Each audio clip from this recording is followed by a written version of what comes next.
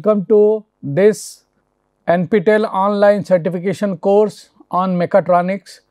Today we are going to study mechanical actuation systems.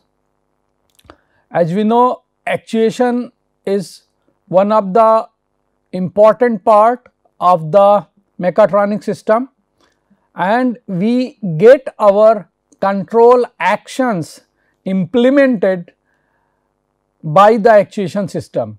Okay. So, the actuation system is the one which is responsible for imparting the motion whether it is translatory or rotary motion uh, uh, to the uh, rest of the uh, uh, system okay, uh, your mechatronic system. So, today I am going to talk about the mechanical actuation system and there are different mechanisms um, uh, which are used for the actuation purposes and these mechanisms are devices to convert motion from one form to another form. For example, say I want to convert a linear motion to a uh, rotary motion. Okay. So, I can uh, use a mechanism uh, to do that. Okay. Um, for example, I can use a uh, say uh, uh, a Uh, uh, slider uh, crank mechanism okay, to convert a uh, linear motion to the rotary motion. Okay. The, they are linkages, cams, gears, racks and pinion, chain, belt drives etc. These are some of the examples of the mechanical actuation systems. Okay. Uh, we use rack and pinion if we have to convert say rot, uh, rotational motion into a uh, linear motion.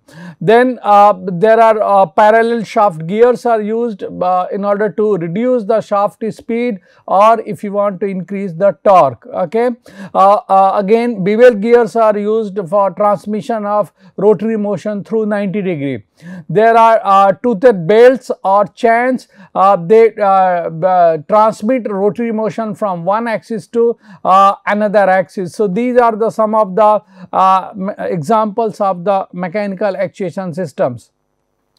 Many tasks previously done by mechanical uh, system are now uh, been replaced uh, by the microprocessors. Okay, mechanisms are is still used in following functions. Okay, uh, although there are many uh, tasks which could be done uh, using microprocessor which were uh, done earlier using uh, mechanical systems, but uh, still there are many functions for which we require the mechanisms. For example, if we have to amplify the forces, we need lever okay, to amplify the force. If we want change in speed, we need gear okay. Um, uh, if we want uh, to transfer motion from one axis to another axis, we need say uh, um, uh timing belt or we need the chain drive. Okay. Uh, uh, our requirement may be of special type say if we want a particular type of motion say quick motion okay, then we may have to use the quick return mechanism which is used in the shapers okay? So many uh, uh, those of you uh, which who are from the mechanical background they know very well the uh, quick return mechanism okay? And uh, in kinematics we study the motions without regard to forces basically. So we uh, actually study how the motions are being transformed from one form to another form. There are uh, types of motions uh, basically uh, uh rigid body motions are uh, combination of basically the translational and rotational motion okay? And any motion can be broken down into a combination of translational and uh, Uh, rotational motion. So, you have any arbitrary motion uh, that motion can be broken down into uh, uh say translational and uh, rotational motion a combination of that okay. such an approach is important when we instruct a robot to do a particular task alright. So, what type of motion is there and what type of task a robot we want robot to do based on that we uh, plan these um, uh, breaking down of the motion okay. So, the translational motion can be uh, say uh, we can describe uh, uh, with the help of say x y z axis okay. Uh, so, the three translational motions are there and similarly we can have the three rotational motions basically say the rotation about x axis, rotation about y axis and the rotation about z axis. In mechanical systems um, we often talk about the freedom, degrees of freedom and the constraints. Okay, uh, these are some of the uh, very uh, important term, especially when we are describing some mechanism. Say, uh, if we are talking about say robot, we talk about how many degrees of freedom the robot has basically. Okay, so uh, uh, the technical definition of degrees of freedom is that the number of independent coordinates required to specify the motion okay?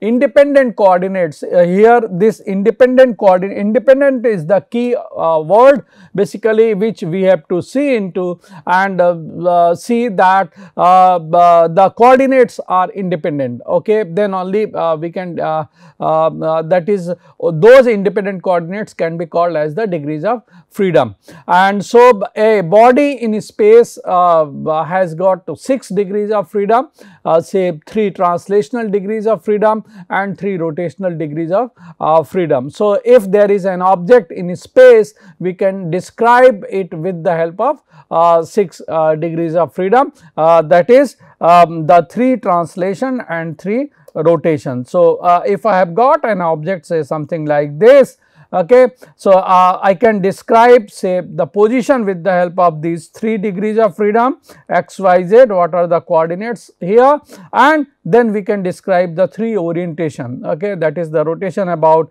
x, y and z axis. So, uh, total uh, 6 degrees of freedom.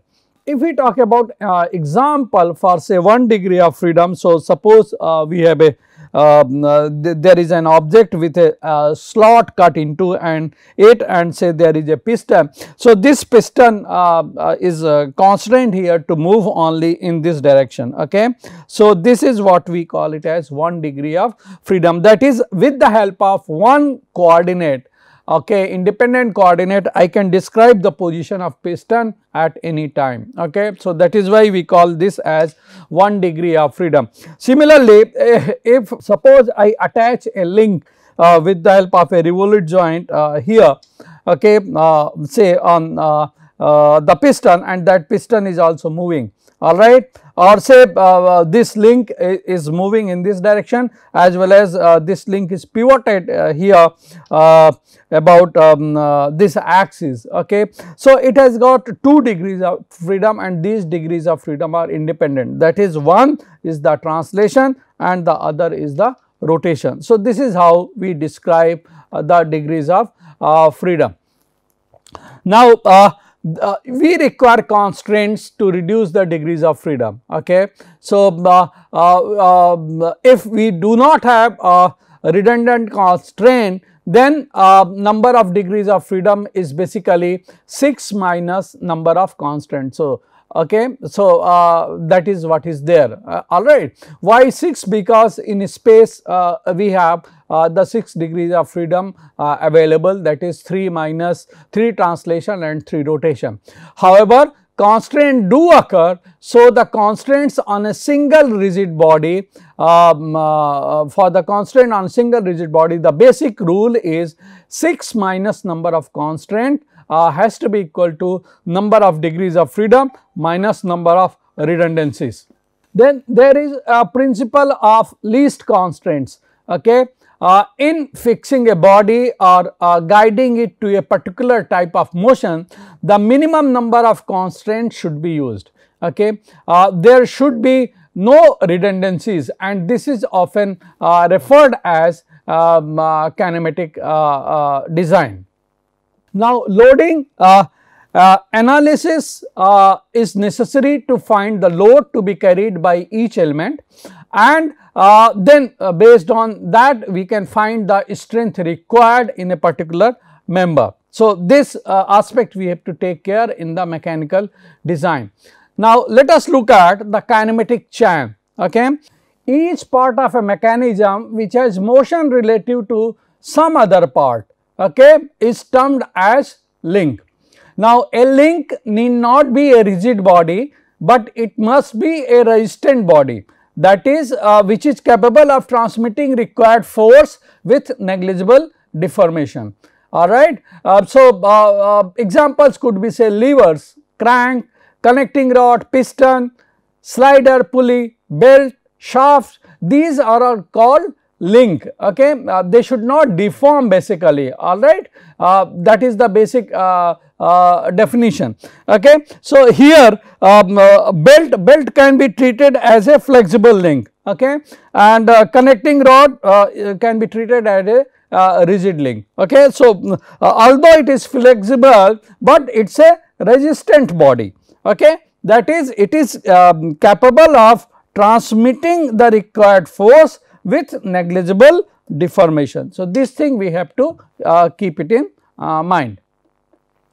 Now, based on number of nodes for connection, the, there could be various type of links. For example, we have a binary link where uh, we can have the two connections. There are uh, ternary link where we can have the three connections possible and there are quaternary link where we can have the four connections possible okay? And um, uh, uh, joint. Joint are basically uh, to make this connection we require joint basically. Okay? So it is connection between two or more links at their nodes and which allow some motion between the connected links. Okay? So here um, uh, we have the say link number 1 and there is link number 2 and uh, there is a joint uh, between the two links uh, now, uh, after definition of link, let us look at uh, what is a kinematic chain. Okay. Now, sequence of joints and links are basically called the kinematic chains. Okay. And uh, for kinematic chain to transmit motion from one link uh, uh, has to be fixed alright and by fixing the different links of a mechanism we can get the inversions of that okay all the uh, all these things uh, uh those of you from the mechanical background they know. Must have studied in your kinematics of machine course. Okay? And the design of most of the mechanisms are based on two basic forms of kinematic chain. Okay? One is the 4 bar chain and another is the slider crank chain. These are the most popular kinematic chains. Okay now, let us look at the first one that is the 4 bar chain. Okay, in a 4 bar chain there are 4 links basically, okay, say link 1, 2, 3 and 4, okay, and out of these uh, one link is uh, fixed, alright. Okay, so uh, in a 4 bar chain, if sum of the length of the shortest link and the longest link uh, is less than or equal to sum of the uh, length of the other two link okay? Uh, then uh, one link will be capable of making a full revolution with respect to uh, the fixed link okay? Uh, and if this uh, condition is not met then none of the link is uh, capable of complete revolution. And this criteria is what is called as the Grashof criteria or Grashof condition okay? Now here uh, uh, Uh, uh, we can uh, get uh, the different type of motions by say adjusting the length of the links fine. So, here uh, uh, we have the double lever mechanism where say uh, the link 2 has got oscillatory motion and the link 4 has got also the oscillatory motion. Then we have lever crank mechanism where uh, uh, the 2 has got uh, not complete rotation whereas the 4 has got the complete rotation. The link 1 which has got a uh, 360 degree rotation we call it as a crank and the one which has got uh, uh, not which uh, is not having the 360 degree rotation that we call as lever.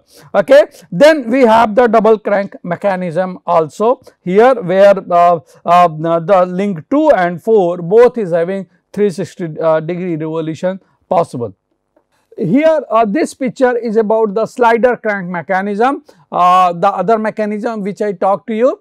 This form of mechanism consists of uh, a crank a connecting rod and a slider. So, basically this is the crank, this is the connecting rod and this one is the slider basically. Okay. So, uh, you can see here this one is the slider, this is your uh, this basically forms the uh, crank and 2 is your connecting rod okay? And the advantage of this mechanism is that it transform an input of say backward and forward motion over here uh, into a rotary motion okay? So uh, this is where uh, the slider crank mechanism uh, can be used.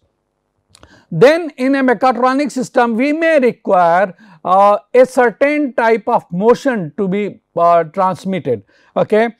So uh, a cam and cam follower can be used for this purpose. Okay.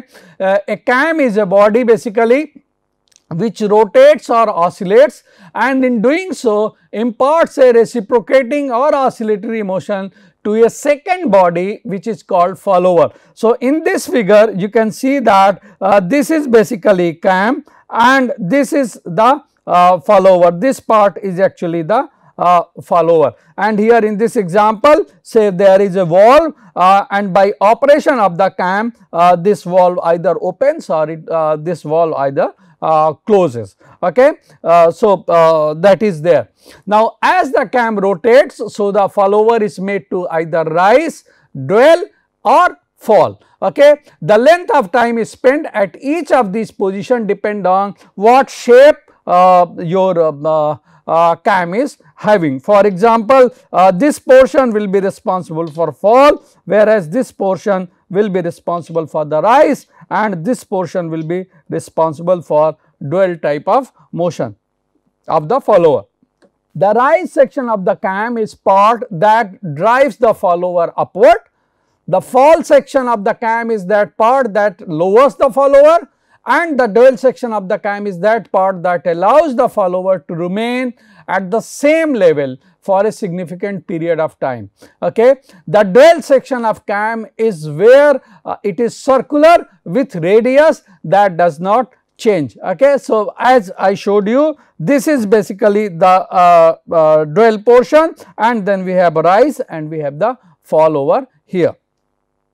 Now, let us look at the gears. As I said the gears are basically used in mechatronic system uh, to reduce the speed or to increase the torque. Okay. So, uh, we get uh, both the effects with the help of gears and say if we talk about say mechatronic system such as a robot, we our torque requirements are actually very high, but the conventional motors which we are getting from the market, those motors are high speed motor. Uh, motors okay so uh, the gears are used to reduce the speed and increase the torque. Okay. So, let us look at some uh, fundamentals of the gears. Uh, they transfer and transform the rotary motion basically and based on the axis of the gear there uh, uh, uh could be a classification like uh, say parallel axis gear okay, where the axis of the two gears is parallel. here the smaller one we call it as a pinion whereas the uh, bigger one is called as gear. So, this is pinion and this is called as gear. Then uh, we have the intersecting uh, intersecting axis if the axes are intersecting uh, say at this point then this type of arrangement uh, uh, the gear which is used for this purpose is called as the bevel gear and similarly we can have the rack and uh, pinion type of arrangement. So, basically uh, in the rack and pinion type of arrangement there is a pinion basically uh, uh something like this with the uh, teeth. Something like this okay? And uh, we have a gear which is gear of infinite radius basically okay? Which one we call as the rack. So, the arrangement is uh, something like this. Okay.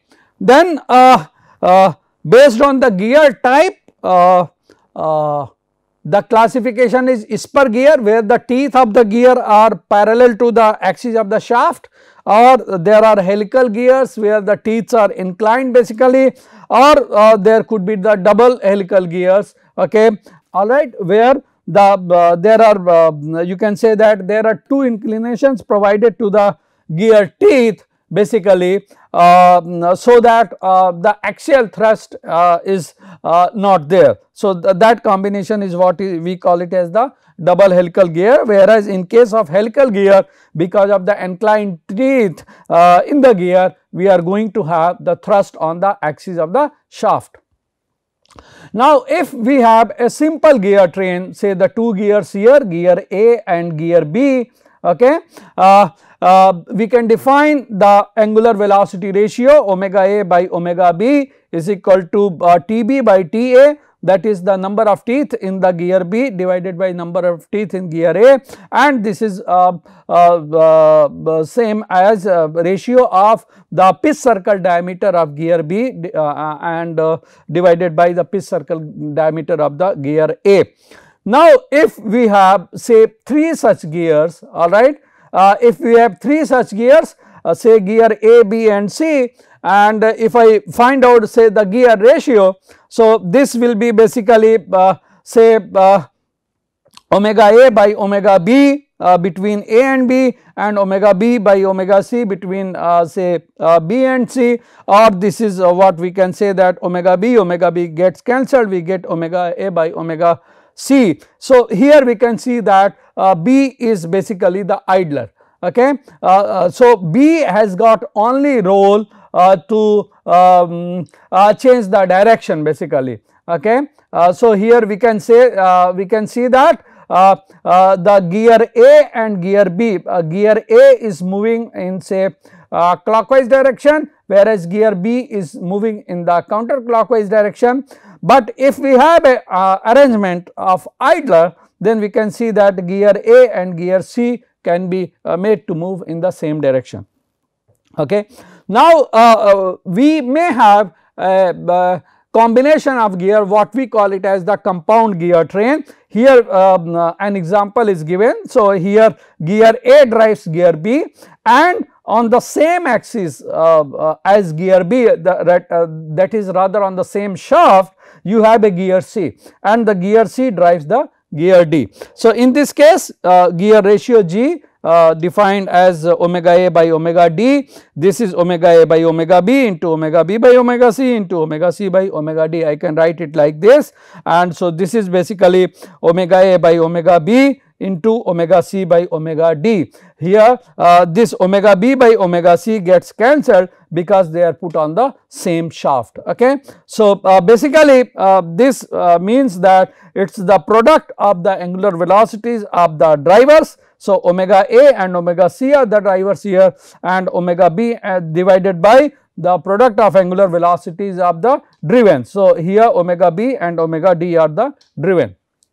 Then we have the uh, reverted uh, gear train. The reverted gear trains are basically the gear train where uh, the um, input axis is same as that uh, of the output axis okay. So, uh, here uh, this is the combination and because of this condition what we can see here that uh, RA plus RB uh, is same as RC plus RD. Okay. Then uh, there are ratchet and pawl type of mechanism uh, uh, is used in mechatronic system. Uh, it locks a mechanism when holding a load basically. So, here we can see that this can move in this direction okay, but it cannot move in the opposite direction and uh, these are the commercially available gearbox basically okay. So, uh, here uh, this one is the spur gearhead here you can see that uh, there is a offset in the axis which we uh, usually see in case of the uh, spur gearhead and this is another type of gearhead which I have not talked about uh, the, that is the uh, planetary gearhead. When we require a very uh, high uh, uh, gear reduction okay then we go for the planetary gearhead. when we require very much reduction high reduction in the speed then we go for the planetary gearheads. Then next are the uh, belt and uh, uh, chain drives basically. so, belt and chain drives are used again uh, to transmit power over a longer distances. Okay. Uh, so, uh, here we can see the uh, belt drive, uh, there are say open belt configuration is shown and uh, the cross belt configuration is shown. Uh, here this is our open belt configuration, this is the cross belt configuration. Okay and here tension in the tight side is T1 and in the slack side it is T2 then torque on A will be basically T1 minus T2 into the radius of pulley A. This is our RA similarly the torque on B will be T1 minus T2 into uh, radius of pulley uh, B basically this one. And the power is multiplication of uh, tensions uh, sorry uh, tension difference into the velocity. Okay. So, this is there. Chain drives are similar to the belt drive. There are various type of belts. Basically these are the flat type round flat type.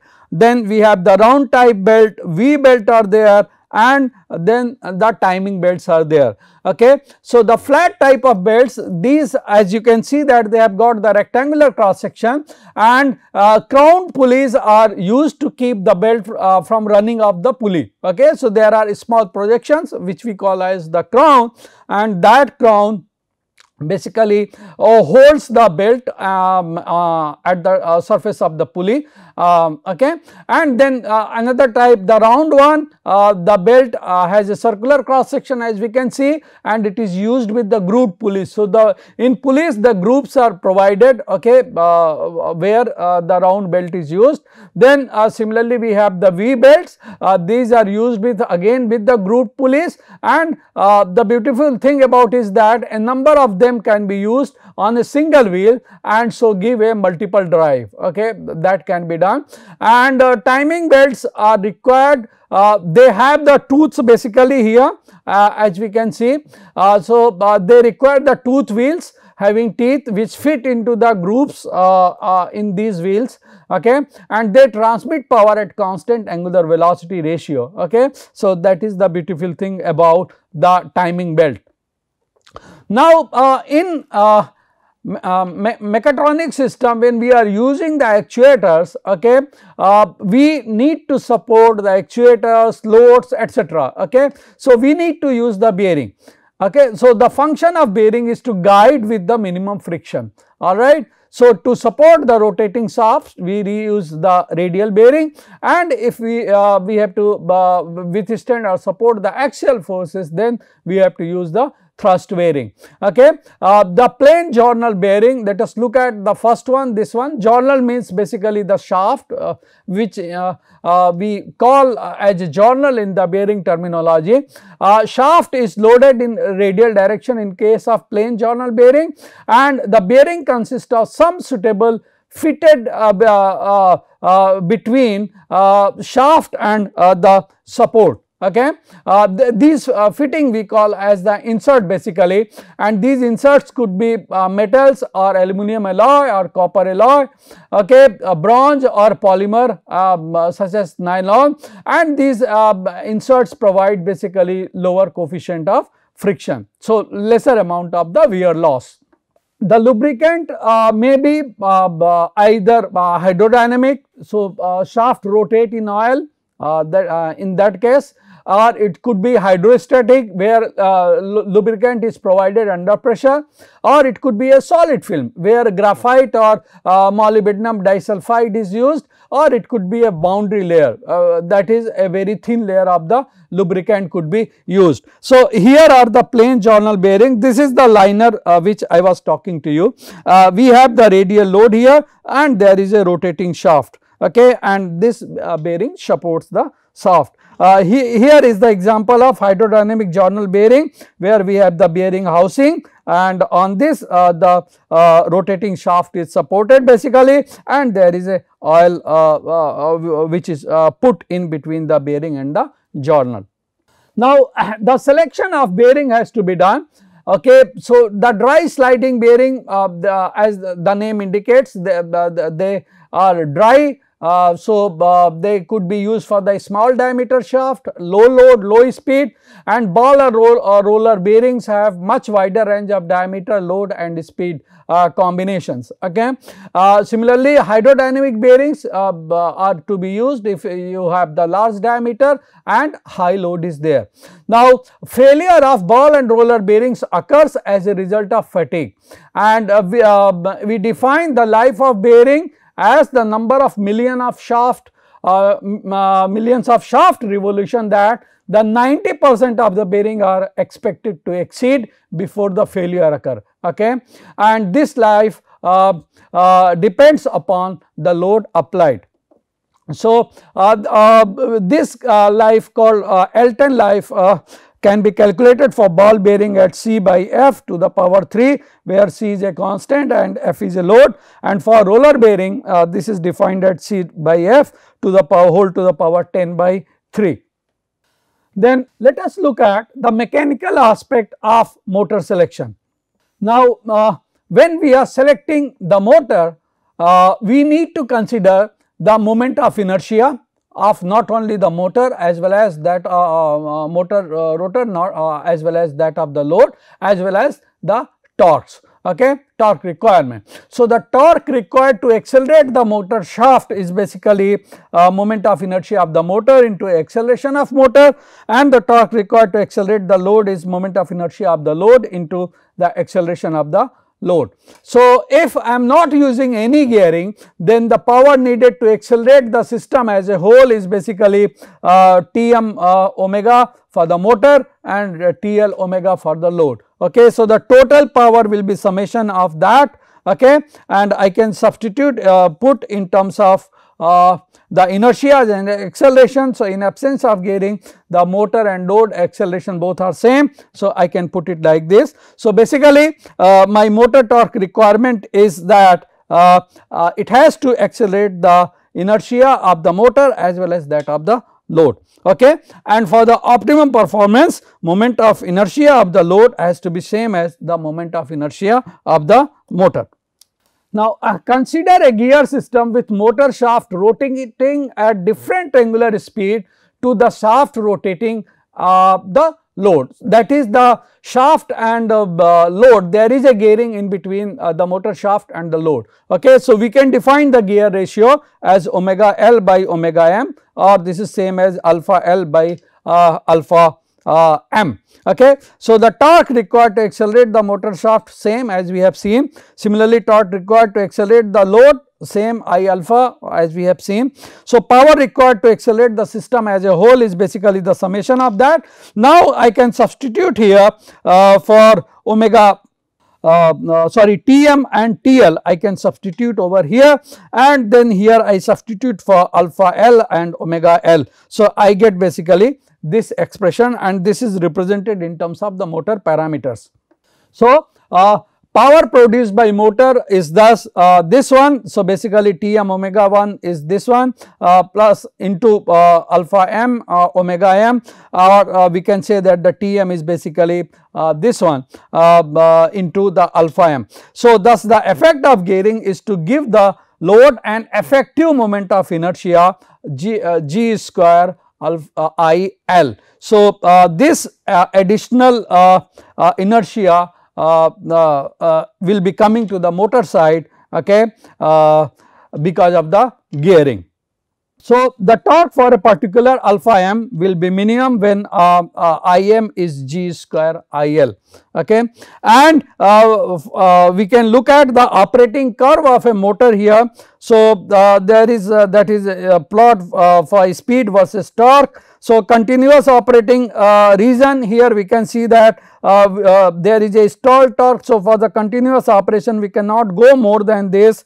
And uh, if there are intermediate uh, operating region then we can go little more. Okay so uh, we have the maximum operating torque uh, if uh, the intermediate operation is uh, required. Okay and as the speed increases the torque capacity of the motor decreases. So that, that that is what is clear from this graph and so here is the maximum no load operating speed and uh, you can refer uh, uh, for further reading uh, the mechatronics book by Bolton as well as you can refer uh, our book uh, on mechatronics uh, um, fine. Thank you.